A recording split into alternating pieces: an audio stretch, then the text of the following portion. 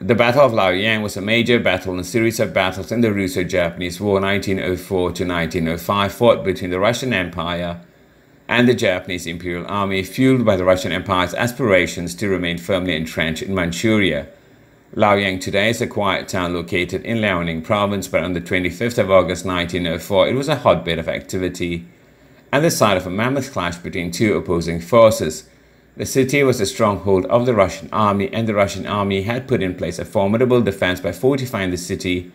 with three lines of fortifications. But despite that, Prince Oyama, who was spearheading the attack on Liaoning, instructed his commanders to take the city on the 25th of August, three weeks after the Japanese had got ashore, and under his instructions, the 1st, 2nd, and 4th IJA Imperial Japanese Army went on the attack. The Russians had on their side approximately 158,000 men, 14 divisions, including 11 cavalry squadrons, supported by 609 artillery pieces, while the IJA had approximately 8 divisions, 120,000 men, supported by 117 artillery pieces. Prior to the onset of battle, the Russian general in charge, Alexei Kuropatkin, divided his men into three groups the eastern group, the southern group, and retained 30 battalions in reserve. His outer defensive line extended for about 12 miles south of the city. At the start of the battle, the 2nd IJA moved along the railway lines while the 1st IJA converged on the city from the north, and the 4th IJA was held as reserve to be committed towards aiding the 2nd IJA towards the end of the battle.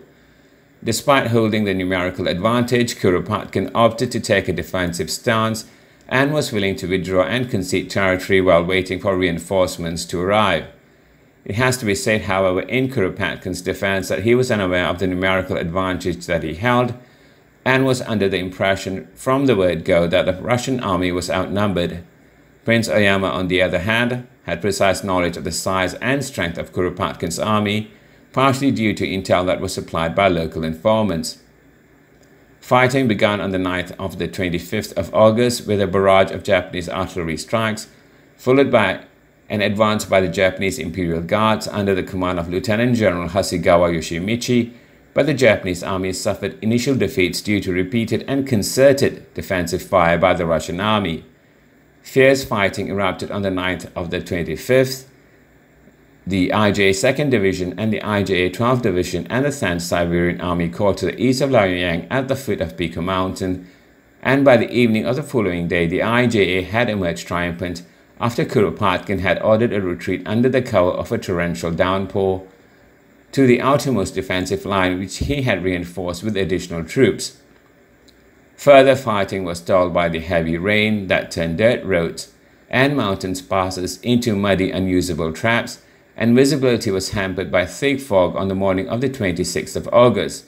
The advance of the IJ 2nd and 4th Army was also stalled by the reinforced defensive line. But Kuropatkin did not push the advantage and instead, on the 27th of August, ordered that his men abandon the outer defensive perimeter and fall back to the second defensive line that was approximately 7 miles south of Liaoyang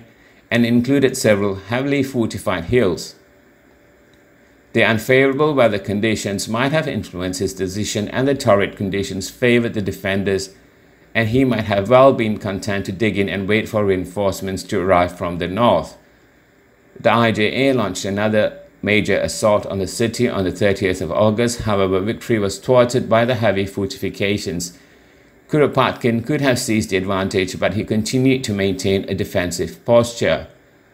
On the 1st of September, the IJA made major breakthroughs, forcing the Russian army to abandon their positions and retreat inland, enabling the IJA to take control of the railway lines that went in and out of the city and advanced towards the city. Kuropatkin, in desperation, finally gave the order to counterattack, but it came a little too late, and the Russians, who had sustained heavy casualties, and were running short of supplies and ammunition, continued with the retreat, and on the 3rd of September, Kuropatkin was forced to abandon the city.